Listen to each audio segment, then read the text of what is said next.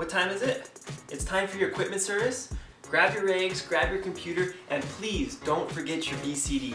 Here's why.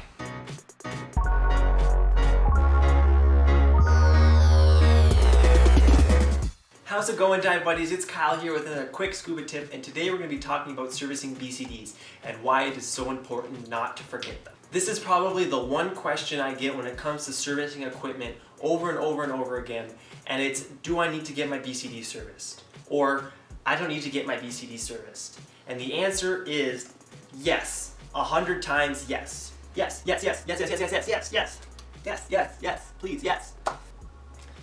All right, now it is very, very simple. The BCD, even though there is not a whole lot of working parts in it, is statistically the one item of equipment that is the cause for most of the catastrophic dive accidents.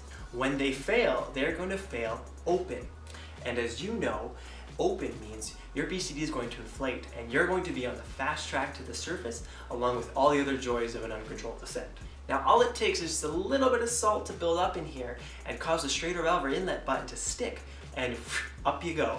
Now you might be telling me, Kyle, I don't dive in any salt water at all. I dive in beautiful crystal clear fresh water up here maybe like we have in the beautiful lakes of Canada. I'm to tell you the same thing applies for you. Even though you may not be having salt build up in your regulator, there is dirt and grime and stuff that is building up in here that you may not even know about.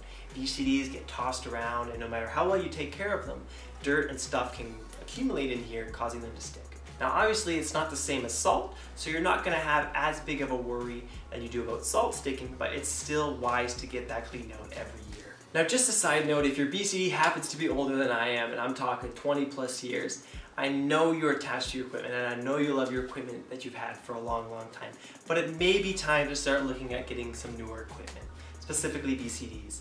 Now BCDs have come a long way since when you got certified or when you got your BCD.